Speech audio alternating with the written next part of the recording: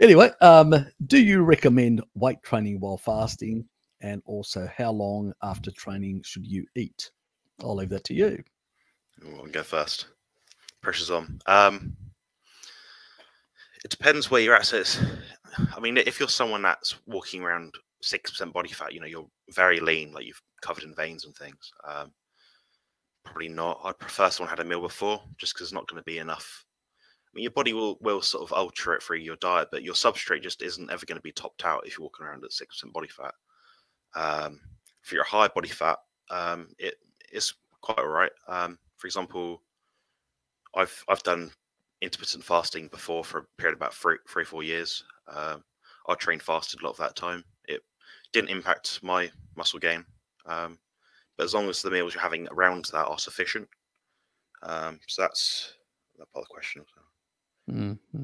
I think that like the thing about after training nutrition is is an anabolic window, but the reality is that it's twenty four seven. Your body's always um you know increasing your sort of um your muscle growth. You know, as long as you're giving that stimulus to grow from. Yeah. Um, if you're doing something like one meal a day, I don't know, you might you might do it maybe within two to three hours after, but that's just the aspect of like rehydrating, um, putting mm-hmm. minerals back in. Um, if you're doing more meals than that, I just I wouldn't I wouldn't stress too much about that sort of thing. It's more about what just me, Bart, and Harry said already, sort of mm-hmm. thing. Yeah, I, I sort of like yourself. I think that if somebody's really ultra lean, which I don't think is actually a really good idea unless you're going into competition anyway. Mm. I think it's sometimes people get too lean, um, and that does have an effect. Um, literally tanking their hormones and all sorts of things. So it's not a not a, an advisable thing. Um, I mean, I'd I definitely wouldn't eat right before I'm going to do the exercise. I'd probably stick to about an hour and a half prior, or you know, so I've got just a bit in the tank, as uh, Jonathan said, and then uh, you know an hour after, because um, uh, the whole purpose is you're tearing down, and as long as you're getting really the you know the fundamental thing, as you know Bart knows, Jonathan knows, and anybody in the bodybuilding thing, two point six grams of leucine every time you put that with a whole lot of other aminos, you're going to get muscle protein synthesis you know. So how much you get is how much substrate you're going to put in, how much taurine you're going to put in to amplify to for the for the protein transporting effect plus the myostatin inhibition to amplify leucine's effect. So that's really what we're sort of talking about. Also, taurine does actually raise insulin slightly, but not a lot. It has, it sort of improves insulin signaling in a sense. It's sort of a regulatory thing. So I think it actually combines really well with that sort of uh, insulin to glucagon sort of 1.3, where it actually will pump it up to a pro- probably about at 1.5. So you'll get get a better a better effect than what you would get just having a couple of steaks and not doing much else. And that's the reason why I, I view the taurine as a really important biohack in bodybuilding to basically amplify but not overexpress. Um, you know, you don't need to overexpress um, insulin, but you need to basically slightly try and actually, you know, increase the the sort of signal strength, but not a lot because that's not important. It's just slightly above that base level it seems to have without going too crazy um, to improve um, the sort of because uh, I, I, like to I, I, think that bodybuilders really need to as you're basically healing right after you really need to pick up a bit the the actual mTOR signaling especially mTOR one because that's going to play a big role in in the healing part and really building more more muscle a bit more rapidly at that point. So that's how I sort of view it as a hack than anything else.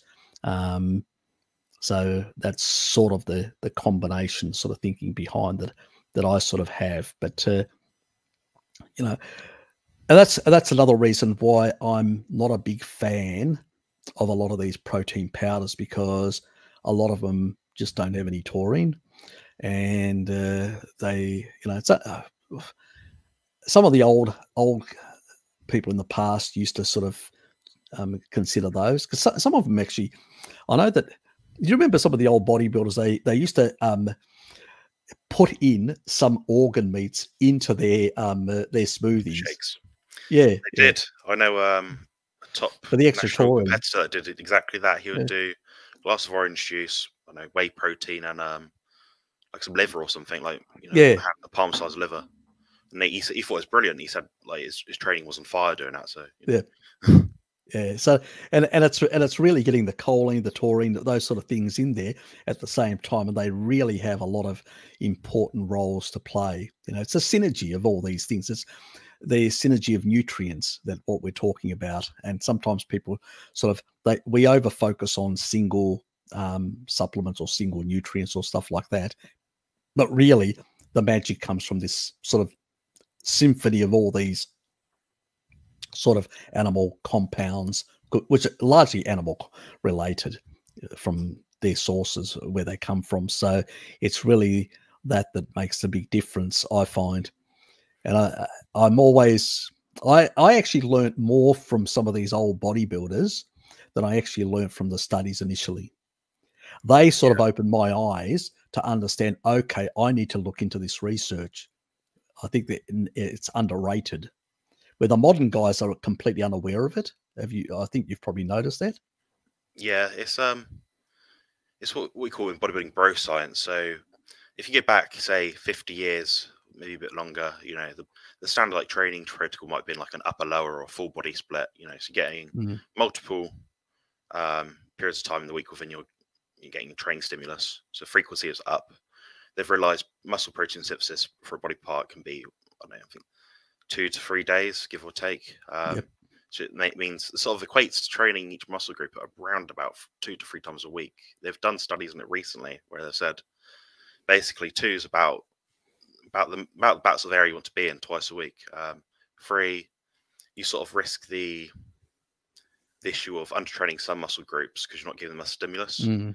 Um, so if you're doing something three times a week hard with you know a, a high level of volume, you're not going to be able to recover from it. So it's it's very individual in your sort of um, adaptive and recovery ability Mm. um, in regards to that sort of thing. I think there's also a bit of concern that you you also may end up, as you said, over over exercising some muscle groups and creating imbalances in the in the body as a consequence.